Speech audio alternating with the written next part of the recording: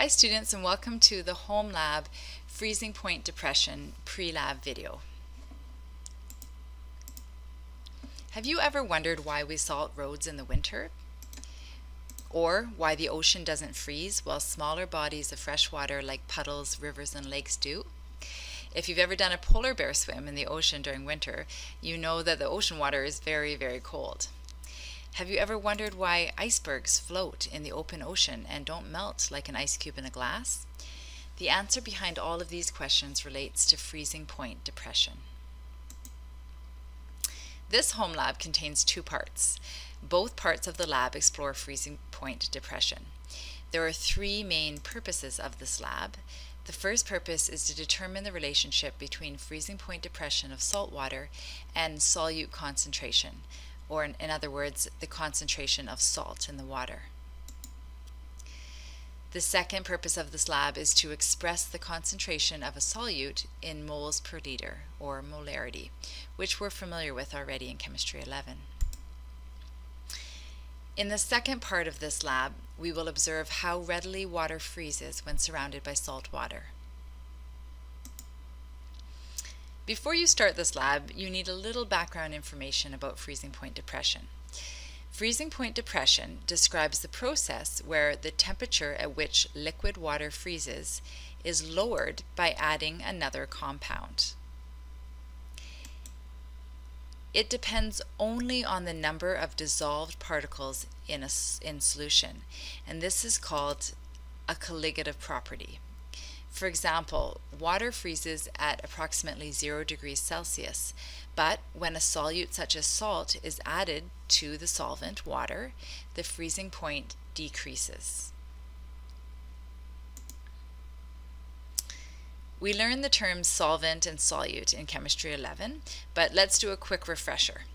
The solute is the substance in the lesser amount that is dissolved in the solvent, the solvent is a substance of which there is a greater amount.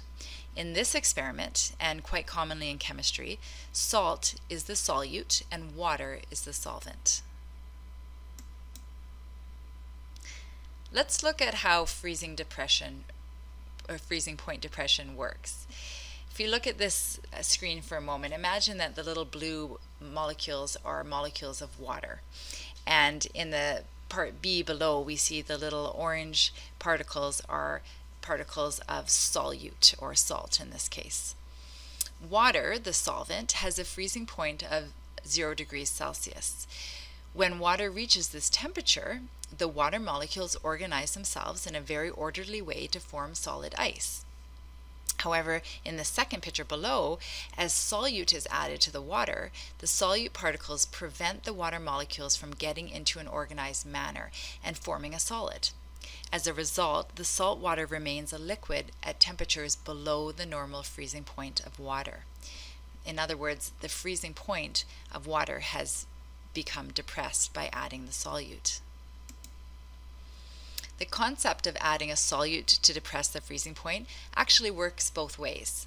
Solutes can be added to lower or depress the freezing point, and solutes can also elevate the boiling point, or making the boiling point higher than it would normally be for the solvent.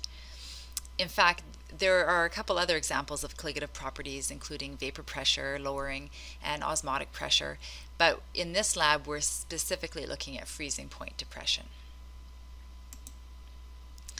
As I stated earlier, colligative properties are affected by the amount of, of dissolved particles in a solution and not the type of particles. This means that the greater the concentration of dissolved solute particles, the more the freezing point of the solvent can be depressed, up to a certain point. Once the solution is saturated, meaning that no more solute can be dissolved, the freezing point cannot be depressed any further. In this lab, we will measure the concentration, also called the molarity, of the solution. Remember that molarity is expressed in units of moles per liter, or more specifically, moles of solute per liter of solvent. In this lab, we will test both salt and sugar to determine how they depress the freezing point of water. While the quantity of solute is the most important factor, it is important to think about whether the solute is an ionic or a covalent compound. Let's have a look at this picture here. If we think about adding sugar to water as opposed to salt in water, we can see that sugar is a molecular compound. Molecular is another word for covalent. So sugar is a covalent compound or a molecular compound. When we add it to water, the individual molecule does not break apart. It dissolves in water, but we don't have any breaking of the covalent bonds within a sugar molecule. On the other hand, salt is an ionic compound it dissociates in water and splits apart into two separate ions. So when an ionic solute such as salt or sodium chloride is added to water, there are twice as many particles present in solution because the salt dissociates into separate ions. So the concentration of ions in a solution of salt water will be double that of a solution of sugar water, assuming we added the same number of moles of solute. In part two of this lab, we will observe how readily water freezes when surrounded by salt water. We know that a solution of salt water can remain as a, liqu as a liquid at a temperature lower than the freezing point of water. And in part two, we will test this.